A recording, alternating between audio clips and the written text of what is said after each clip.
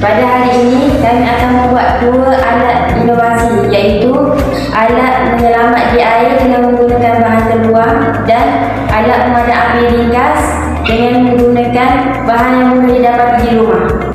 Bahan-bahan yang diperlukan untuk membuat alat menyelamat di air ialah botol kosong, tali dan plastik beras.